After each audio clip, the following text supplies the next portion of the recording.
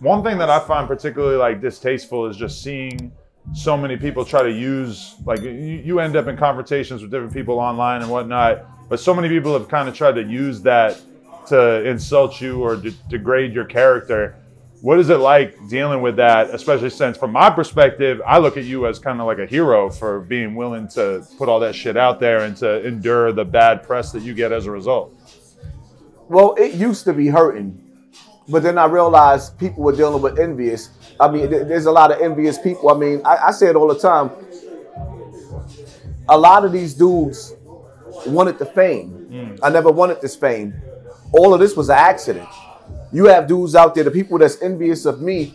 This is something that they've been fighting for their whole life.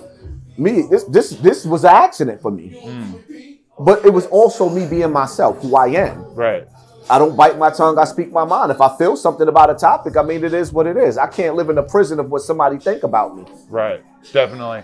So I understand that you and Wack have had conversations in recent memory. So you guys have gotten back to a, a better place in terms of your relationship.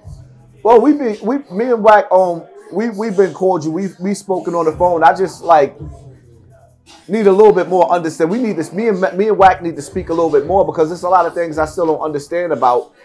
You know where we fell apart at, how we fell apart. Right. Because he he had a particular moment when you guys were on the Akademiks podcast where he said some relatively rude shit to you in regards to all that, in regards to your past with the Bambaataa situation and everything like that. And uh, as much as that's a friend of mine, I wa- I was a little shocked by his willingness to like kind of use that to try to get the upper hand in an argument. Well, I mean, I didn't see, I didn't take what Wack did or what he was saying personal because me and Wack spoke before we actually got on air, and he wasn't disrespectful. The things that he said after the podcast, when we was away from each other, was more disrespectful than what he said when we was face to face. Hmm. When we was together, it was all fun. It was, it was laughs and jokes and behind the scenes. It was I had I actually had a good time. Hmm. I, I felt I actually during that time when we was together, that it felt it was a good feeling there. Did you feel like that was fake? Like he was playing a character for social media to to get a reaction? Nah, when we was together, honestly speaking, I thought that the chemistry between all of us was dope. I thought the interview was dope. I thought his personality was dope, but it just went left the next day. Mm, okay, yeah, yeah, yeah. But because okay, you're referring to the phone call that you guys had where you were. Oh no, no. So you're referring to like shit that he said on Clubhouse after the, The fact about yeah. the Bambaataa shit and all that. What, what was it in particular that he said that rubbed you the wrong way on, on the phone call? Something about um me sucking Bam's dick. I said like he got disrespectful. He got crazy disrespectful. And see, my whole thing is is that I, there's a line that I don't cross that I that I don't I don't play with people. I don't give a fuck who you is. And to hear him say some of the things that he said, it was like, wow. You know what I mean? He got like real, real crazy for Clubhouse. Right. You know what I mean? And I didn't understand that because I, I, I was planning on flying out to LA and everything dealing with Wack. Right. And uh, so then after that, you guys end up getting on the phone, and that's uh, when he ends up kind of divulging the, the the secret Nipsey tape information to you. No, before that. So that was before the interview and the clubhouse shit, or Yeah, oh, that was before that. So he had already told you about that, and then you got and, and you had ended up recording it. What what what made you want to record that in the first place? Because when Wack would like a lot of things that he said that he he spoke about, like me, like for example, I'll give you an example. Where he broke down how he set up De La Hoya Uh huh. and he he, he extorted him out of eight hundred thousand dollars.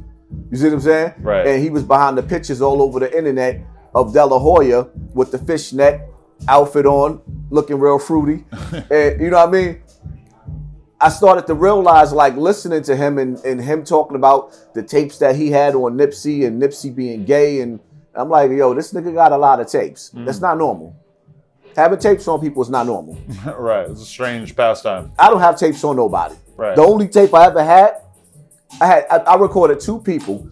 I, I, I recorded Wack, and I recorded a conversation, one conversation that I had with Mano, just so he couldn't tell niggas he was just talking to me any old kind of way because I try to make niggas understand I don't give a fuck who you are. I'm not scared of nobody.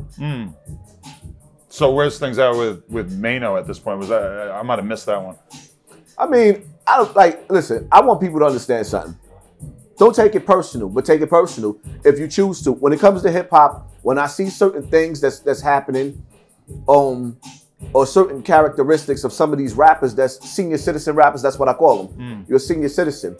These niggas raise their children in the best of ways, but they send a message that send our kids to the penitentiary. I'm not with it. Right.